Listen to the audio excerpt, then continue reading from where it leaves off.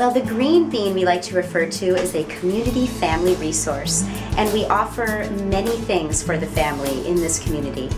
And uh, everything from resale of gently used items, from toys and books and clothes and shoes and trains, to new items as well. And we offer unique birthday gifts and shower gifts for babies. Our clientele in this neighborhood are the working creatives of this community and uh, people that are interested in getting getting what they can worth out of their hard-earned cash. But they're also pretty funky people too. So I think they want a little bit excitement as well in what they choose for their kids. One thing that we are trying to really do in a community aspect is to offer as much as we can for this community.